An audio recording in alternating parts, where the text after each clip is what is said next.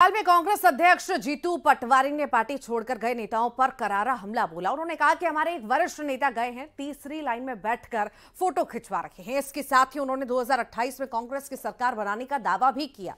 सुनिए। हमारे वरिष्ठ नेता थे, वो बीजेपी में गए, उनका वीडियो चल रहा है। तीसरी रो में बैठे, यूँ करके फ़ोटो खिंचा रहे हैं। तो ये क्या है?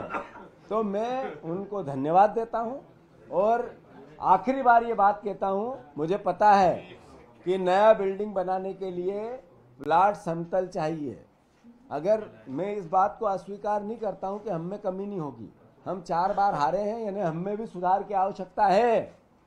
और वो करेंगे, दृढ़ता से करेंगे, बिना डरे करेंगे। युवा पार्टी बनाएँगे, नई पार्टी बनाएँगे, नए विचार की बनाएँगे और 28 में कांग्रेस की सरकार भी बनाएँगे। ये बात अब किसी को कुछ गुंजाइश, शंका की रह गई तो सवाल करो। लोकसभा चुनाव की तारीखों का ऐलान हो चुका है। एमपी में बीजेपी पूरी तरह से मिशन 29 में जुट गई है।